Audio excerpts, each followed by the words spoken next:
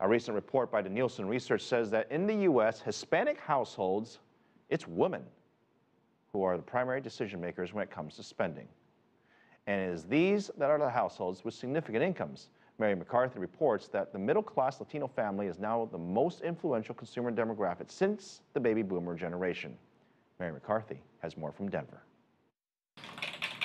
Marketing guru Laura Sundarup says that U.S. companies increasingly have their sights set on Hispanic women. This is a community that's growing faster than any other consumer demographic or subsegment in the country. So, doesn't it make sense to allocate the correct amount of resources against that because the results will absolutely be there? Some companies are just waking up to the market value of Latinas, but others have been targeting them for years with great success. The food and beverage industry is one that has really understood what the opportunity is, what the potential is for this particular subsegment of consumers. I took the dare.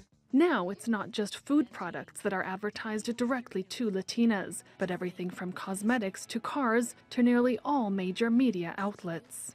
The rising power of the Latina consumer comes as Hispanic neighborhoods like this one are growing rapidly, with more and more Hispanic women pursuing advanced degrees and rising to top positions.